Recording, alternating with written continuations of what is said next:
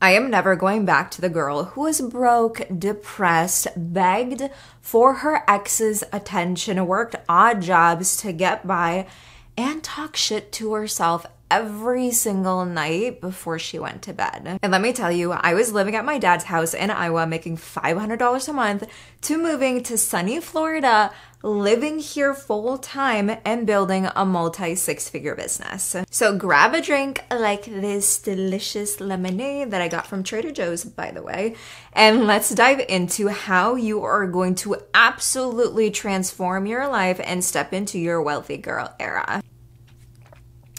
Sabah Ali here, and welcome back to the channel where we talk all things about money, mindset, and creating the most unforgettable life for yourself by being your own boss so you can actually live life because that is what life is about. Now, ladies, I'm about to make a promise to you, okay? By the end of this video, you are going to have a complete blueprint of how you're going to do a 360 in your life and leave your broke, depressed, sad era and step into your wealthy girl era for good. Now, there's a lot that I want to cover in this video, but I want to say there's like a common theme that I really want to first talk about that allowed me to step outside of like my depressed era and actually get into like my rich, high vibe, wealthy girl era. And this one thing is also going to come up on every single step in this video and this blueprint for you to shift out of, you know, whatever era you are in and step into the one that you want to be. The first thing that I did and the first thing that I want all of you ladies to do is deciding that you're stepping into your wealthy girl era and committing to follow through. Okay, it's one thing to decide and start living your life in a different way take new actions, have a different way of thinking. But it's another thing to decide and then commit and follow through to actually living it every single day. Because I will tell you, there has been so many times prior to me making this 360 in my life where I decided and I committed to something, but I didn't actually follow through. So I only felt good for like a few days or a few weeks, even for a few months, but my life never really fully changed because I didn't commit in the actual follow through. Uh, so, for all of you, if you are so determined to step into this era where you just make the most amount of money, you feel so good about yourself, you attract all of the opportunities to you, I want you to decide and I want you to commit and follow through with it all. Okay, so now that we have agreed in deciding, committing, and following through, cheers to that because now let's get into what I actually did to go from broke, depressed, sad AF and go into my wealthy girl era. Now, the first thing that I did was I got super clear in what I actually wanted. Now, for me, when I was living back in Iowa at my dad's house, I knew for a fact that I did not want to live in Iowa. Okay, there's nothing to do there. I grew up there. I went to college there. I went through my worst heartbreak there. And I'm like, no, there's nothing for me here and I need to move. Back then, I knew that I wanted to move to Florida. I love the weather here so much opportunity here. So I made a commitment and I got clear that if I wanted to move, it would be to Florida. So for you, you want to get clear on what you actually want in your life. Okay. If it is starting a business or if it is getting a new job and increasing your income or if it is getting a healthy relationship or maybe it is moving to a new city, get clear in that. And no, I don't want you to just say, I want to move to a different city. I want to make more money. I want to be in a loving relationship. I want to get married. I want to, you know, buy new clothes. No, that is not specific enough. I want it to be so specific that you can actually close your eyes and visualize this new life for yourself because I will tell you, I had a whole notebook. You know what? I actually have my notebook right here. Let me grab it. Okay, this was the notebook that I wrote in when I graduated in college 2018 2019 before I moved to Florida in 2020, where I had in detail what I actually wanted my life to look like. And I got so detailed to a point where when I actually read this notebook, I actually felt in my body that I was living this new life. And that's how specific I want you guys to get. So you can see right here, I don't know if you guys are gonna be able to see it, That's okay. I'll probably put like a screenshot of it here. But I wrote down, I am a six figure business owner. That happened within a year of me changing my life. Okay. I have spoken on five stages. That happened. I spoke on two TEDx stages. I have 50,000 followers on Instagram. Now, I did not reach that goal. Okay. I think I'm at like 30,000. But the reason why I wanted that was because I wanted to get clients and make money, which I already did. I have abs and a boot Okay, Okay, I wanted the perfect body which absolutely did happen. And I'll put up a picture of me here when I moved to Florida in 2020. Okay. I am a girlfriend. Literally, that happened immediately because prior to me moving to Florida, I was heartbroken. I was going through a breakup and I like honestly didn't even like I wrote down I wanted to be a girlfriend, but I didn't think I'd be able to actually be in a relationship because I was so heartbroken. But guess what? Literally the first person that I met when I moved to Florida was my now like 4-year boyfriend soon to be fiance waiting for that when I first moved. Okay, literally happened instantly and immediately. I think with my subconscious mind, I knew that I did not want my external 3D reality and my conscious brain to control my life. Okay, all the fears, the doubts, the insecurities, I was not about to be living that. So I only think with my subconscious mind, meaning I'm in control of my actions and what my life is gonna look like. I live in Florida. Okay, that was such a big one for me. Move out of Iowa and live in Florida. Okay. And then the rest, like, you know, visit Disney World, stick to healthy diet, build a successful team. And all of the things that I wrote down in detail actually happened. And the crazy part is, it all happened within like a year. Now, I'm crazy and I went into detail of actually like putting pictures in my journal and I also wrote down I can't find it here because this notebook is filled with notes and everything but I went so in detail with my goals that I even wrote down the type of apartment that I wanted to live in the car that I wanted to drive. Like I got so clear that there was no gap in my reality where someone else or something else could fit in that I did not want. Like this is the key. If you want to step into this wealthy girl era where everything everything just works out for you, you need to first get really clear in what you actually want. So, what I recommend doing is taking a notebook just like this and writing down your intentions, your goals, and what you want your true reality in your life to look like. So, after you get clear in what you actually really want in your life, the second step that I did was really asking myself, okay, I want these things, but am I actually being somebody who is able to attract those things and keep those things in her life. This is really crucial. Are you somebody right now who's actually able to attract and keep those things? And back then, it was a no. The second thing I had to do was I asked myself who I needed to be to actually get there. I'm such a big believer in you are what you attract. So back when I was, you know, depressed, broken, going through a heartbreak, so insecure, the reason why I was experiencing all of that was because I actually lacked a lot of self confidence and a lot of self worth. Like on social media, when, you know, that was in like the really beginning stages when I was building my personal brand online, everybody saw me as someone who was so like inspirational but like deep down in my body, it did not feel that way. I did not believe it myself. So, of course, I attracted so much like bad into my life because I was not being somebody who was attracting all the good things because I was still talking with my ex, right? I was still working on jobs that I hated. I was still eating like shit, even though I wanted like a perfect body, right? I was doing things that were just not in alignment with the life and the dreams and the goals that I had written down. So once I understood and once I realized that, guess what I did? I wrote down all of the traits, all of the beliefs, the habits, the identity,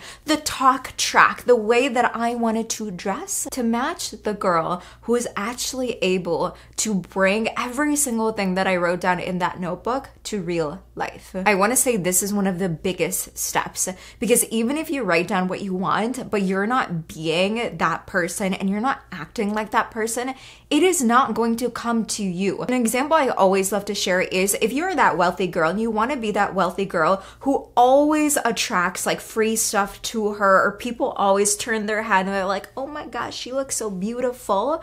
But when you walk into a restaurant and a store, you have literally like your hair is in a mess, you are in sweatpants, you have no makeup on, like you're just like this on your phone. Like you're literally not even opening up any conversation with anybody. Like you're literally walking in because you want to be hidden, because you don't want to be seen you're not gonna attract what you want in your life. You're not gonna attract the guys, right? You're not gonna attract the money. You're not gonna attract the free stuff because you're literally acting like somebody who does not even want to be there. And once again, the reason why I'm so like blunt about this is because I used to do that. I used to hide, I used to dim, I used to just like degrade myself just to like fit in or honestly not even like talk to people because I thought I was either like a burden for other people. I thought people didn't want to talk to me. Like all of these things that just honestly did not even make sense. Being in a wealthy girl era isn't just like this cute and fancy term that was created on social media. It's a real thing that once you step into it and once you tap into it, you are just going to be in that state for good. And that is what happened to me.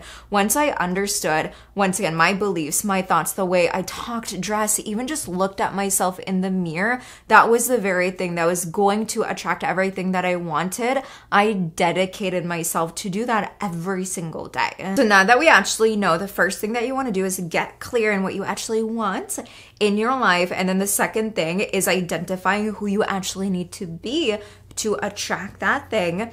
The third step that I took, and the third step that you want to do is reprogram your mind and your body to actually be in that state every single day, okay? Because I'm not just going to create this video and tell you guys to be in that state, but actually show you how to do it. This is what I did every single morning to basically program my mind and my body to honestly look at my reality as so much abundance, even though I wasn't living it yet. Now, I did this every single morning when I was so dedicated in reprogramming my mind, my body, who I was being. And to be honest, I still do it till this day. Like, literally, what, four or five years later, I am still doing it till this day. And this is how powerful this practice really is. The first thing that you want to do before you do anything else in the morning is meditate and visualize your new reality. I want you to literally see yourself living and experiencing what you want. Remember the list that you wrote down of every single thing that you want? I want you to visualize yourself living in that. Okay. And I always love to use the five senses when I'm visualizing. Okay. When I'm looking at myself in this brand new reality, what what am i smelling what am i tasting okay what am i listening to what am i seeing right and what am i speaking right? Like all the things. What am i touching? Okay? I use the five senses to really create this experience in my body and in my mind that i'm already living it okay? Because let's be honest i say this all the time your mind and your body cannot tell the difference between something that's vividly imagined and something that's actually happening. So that is why when you start to think about like food, your stomach starts to growl and like you start to have like saliva in your mouth. It is because you're thinking about food and you start to get hungry. Same thing with your goals and with your manifestations. Your mind and your body it will get ready to actually attract that into your life, right? So when you start to think about food, your body, your mind gets hungry. So what do you do? You go get something to eat. You go to a restaurant or your boyfriend takes you somewhere and then you get your goal. You get like the desire. Same thing with your goals. Okay. So the first thing you want to do is meditate and visualize. Okay, meditate and visualize. Honestly, you don't even have to do it for that long. Even if you spend five minutes every single morning visualizing it and really only think about that thing, using the five senses and really feeling into it, you are going to get so excited that you're honestly going to act that way for the rest of the day. Now, the second thing that you want to do after you meditate and visualize is I would always rewrite. I would either rewrite or I would read all of my wants and my di- my desires. Okay? So, if you have a lot of desires that you wrote down and a lot of wants, you don't have to like rewrite them all every single morning because that could take time. But if it's only like a list of 5, rewrite them. Repetition is so key when you have an intention and when you have a goal and you can repeat it every single day, it's top of mind. So subconsciously, your mind is going to attract and look at certain pathways, certain people, certain opportunities and experiences that are actually going to lead you to your destination and your goal. Like, I cannot even tell you how many times I have rewritten my goals. I meditate, I visualize, and then later that day, I come across either like a person on social media or a thought that turns into a post. And then all of a sudden, I attract a new client, or all of a sudden, I get a speaking engagement, or all of a sudden, like, my boyfriend takes me out on a date. Like, whatever it is that I'm manifesting, like, it randomly happens. And this is what people call like a coincidence but it's not. You are actually doing it. So that's the second thing that you want to do in the morning is either rewrite your goals or read them so it's top of mind. Now the third and the final thing that you want to do in the morning to really step into and reprogram your mind and your body to be in this state at all times is movement. This is so key. I do not care what you do. Okay, I don't care if you work out for an hour. I don't care if you go on a five minute walk. I don't care if you do yoga. I don't care if you blast your music and dance all around your bedroom in your bathroom. Move your body, even if it's stretching. Okay. The reason why this is so crucial is because movement creates energy. Now, I actually did a whole video on energy and vibration and how to like actually like scientifically attract your manifestations. And a lot of it has to do with like movement. When you're moving your body, you're creating energy and you're also creating different pathways for you to once again attract what you want in your life. And you just like feel good. Like you cannot tell me if you're dancing and you're blasting your favorite music, you do not feel sad and you do not feel depressed. And movement also releases tension and anxiety and stress in your body. For me personally, sometimes I feel a lot of like anxiety in my chest and sometimes in like my shoulders and my lower back. So I'm like, okay, I just feel like like I just feel like I need to let it out. Like, do you ever experience that where like I just need to get out of my body? That's why you should move in the morning because all the stress, anxiety, worry, it is going to exit and leave your body once you move. Okay, so those are the three things that I want you to commit to doing every single single day because I promise you that is really going to help you be and stay in this wealthy girl era so that way you can actually attract all the things that you want in your life. And I also want to say once you start doing these things, you're immediately going to tap into your wealthy girl era because even just by taking action on what I'm sharing with you guys in this video, you're going to feel like a million bucks. Okay, you do not have to wait until you get your desire and you get your goal because let's be honest, you're gonna be getting so much once you're in this state. But just the fact that you're gonna start to do it, oh my gosh, it's gonna be so amazing. Now, the fourth and final step in my blueprint of how I went from broke as a joke, sad and depressed, to building a multi six figure business, living in sunny Florida, truly so happy in a loving relationship is taking aligned action no matter how scary it felt. This is the final step. And this is the final piece. If you do everything else, but you take no action, even if it's scary, even if it's what you know you have to do in order to get to the next step and you don't do it, you're not in your wealthy girl era and you're not gonna get what you want.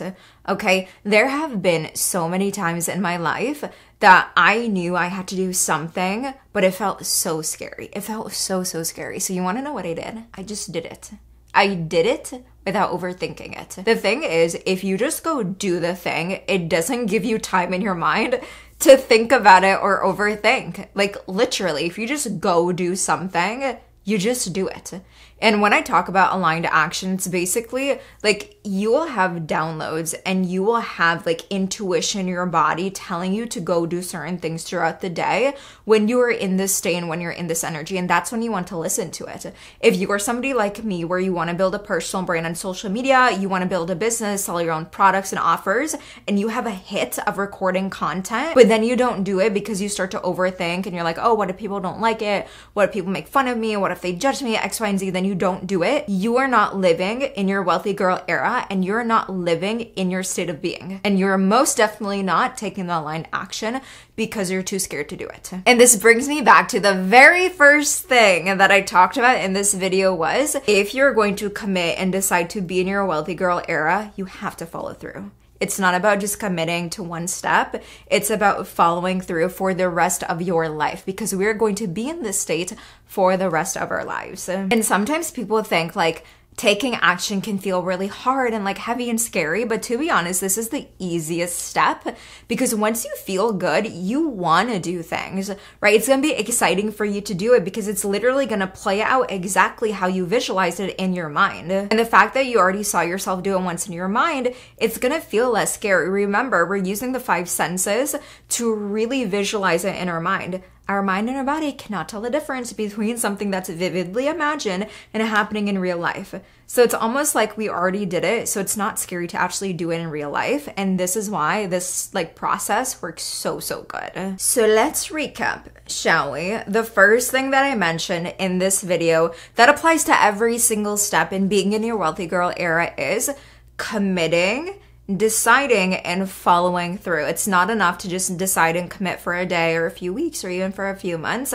It's about committing and following through with every single thing. And then we went through the four steps, which was number one, getting clear on what we want. Number two, stepping into that identity. Number three, reprogramming our mind and our body in the morning to actually live in that identity. And then number four, taking aligned action no matter how scary it is. So that is your blueprint, ladies. Now, what I want to say before I end this video is this is just not something that you're committing for a season or for a quarter or for a month or for a week. I want you to commit to this for life. So your wealthy girl era does not even turn into an era. It is wealthy girl life. This is literally the state that I am always in, no matter what happens, because I am never going back to my broke, sad, depressed, anxious and unworthy era. So as always, if you ladies absolutely love this video, comment below and also claim and decide that you are committing to yourself to step into and be in this wealthy girl life. So that's all for today. I hope all of you guys love this video. And if you're not subscribed, subscribe because this is the channel you want to be watching if you want to build the most unforgettable life by being your own boss. And until next time, make sure that you stay unforgettable. Cheers!